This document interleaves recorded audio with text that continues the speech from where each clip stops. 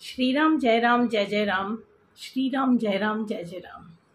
दोस्तों, आइए हनुमान चालीसा को आगे बढ़ाते हुए मैं हनुमान चालीसा की आगे वाली चौपाइयाँ आपके सामने प्रस्तुत करने की कोशिश कर रही हूँ और हनुमान जी से मेरी प्रार्थना है कि वो मेरे को इस कार्य में सफलता दें। दोस्तों, इसके पहले हम आगे बढ़ें।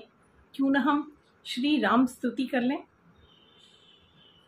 राम राम एक राम राम दो राम राम तीन राम राम चार राम राम पाँच राम राम छ राम राम सात राम राम आठ राम राम नौ राम राम दस राम राम ग्यारह राम राम बारह राम राम तेरह राम राम चौदह राम राम पंद्रह राम राम सोलह राम राम सत्रह राम राम अठारह राम राम उन्नीस राम राम बीस राम राम इक्कीस जय श्री राम जय श्री राम जय श्री राम जय श्री राम श्री राम श्री राम राम राम राम राम। अगली जो चौपाई हम, दोहा जो हम करने जा रहे हैं वो है, प्रभु मुद्रिका मेली मुख माही, जलधि लांग गए अचरज नाही। दुर्गम काज जगत के जेते, सुगम अनुग्रह तुमरे देते। राम द्वारे तुम रखवारे, होत न आज्ञा बिन पैसारे। सब सुख लहे। तुम्हारी शरणा, तुम रक्षक काहू को डरना। प्रभु मुद्रिका मेली मुख माही। जब हनुमान जी से ये बात हुई कि वो लंका जाकर सीता जी से मिलेंगे, तब ये प्रश्न भी उठा, क्योंकि सीता जी तो हनुमान जी से नहीं मिली थी तो वो हनुमान जी को पहचानेगी कैसे?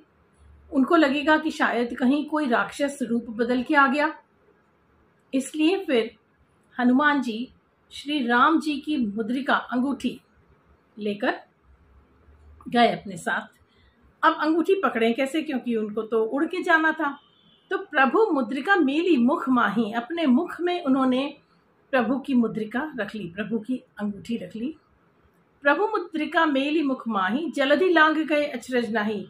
और उस मुद्रिका का दूसरा कमाल ये हुआ कि उन्होंने एक उड़ान में पूरा का पूरा ओशन क्रॉस कर लिया।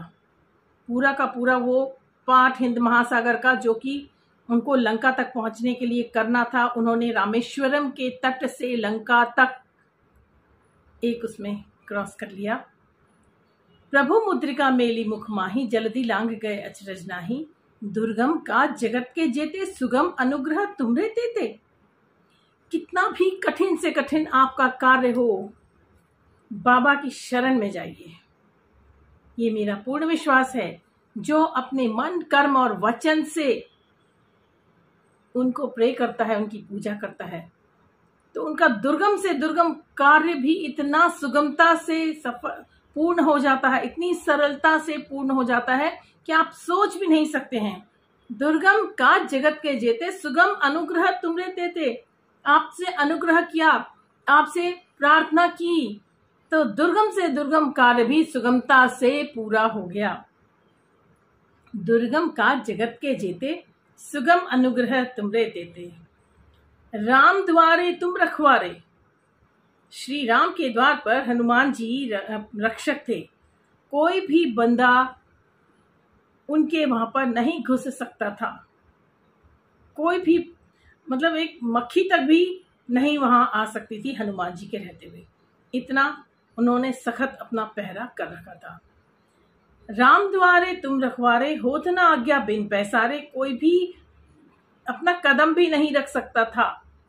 राम जी के वहाँ पर, अब सुख लहे तुम्हारी शरणा, तुम रक्षक कहो को डरना ऐसा कहा जाता है इस दुनिया में सात सुख होते हैं।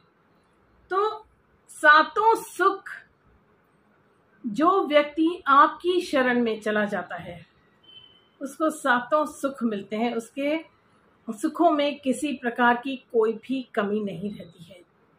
पूरा मन, कर्म, वचन से अपने आप को श्री हनुमान जी को समर्पित कर दीजिए। वो ज़्यादा कुछ नहीं चाहते हैं। वो चाहते हैं आप बस श्री राम का भजन कीजिए। जब आप श्री राम को पुकारते हैं तो हनुमान जी दौड़े चले आते हैं। तो हनुमान जी को यदि प्रसन्न करना है तो श्री राम का भजन कीजिए। और श्री राम को प्रसन्न करना है तो हनुमान जी को भजिए। जय श्री राम, जय श्री राम, जय श्री राम, जय श्री राम।